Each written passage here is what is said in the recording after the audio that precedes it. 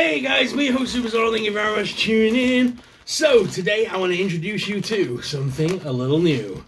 Today's the day the Deddy Bears have their picnic.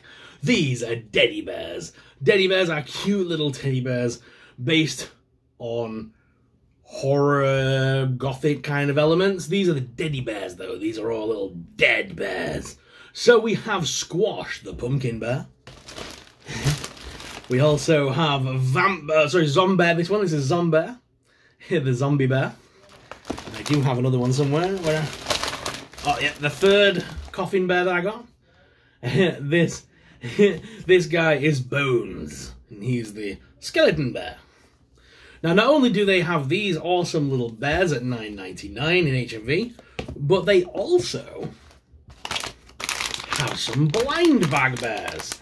Now these are Deddy Bears, the same sort of style, except they have little bag clips you can hang them from your bag and stuff. These are $5.99 and this is the Series 1 Mystery Mini Plushes, including some of the cool characters like Squash Bones and Vamp Bear and some of the others, and there's eight to collect. Now I've got one, two, hang on, get this out of the way, two, three, four, five to review.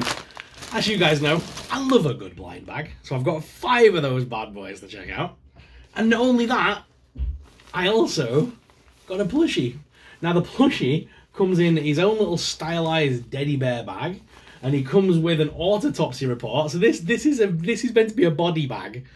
it comes with an with an with an autopsy report, and it says who is deceased. Vamber, 12 inches, born November 1804, blood type, other people's. Probable cause of death, very sharp wooden stake to the heart. And inside here is a cute little vampire bear.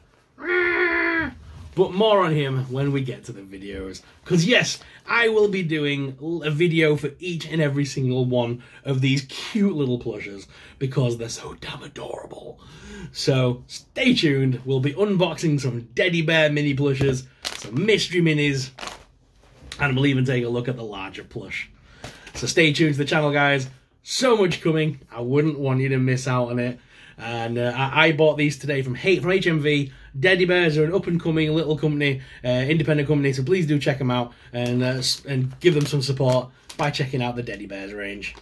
Thank you very much for watching. As always, I'm your host, Soupsor, and I'll see you in the next shortened video. And until then, keep it creep. Bye!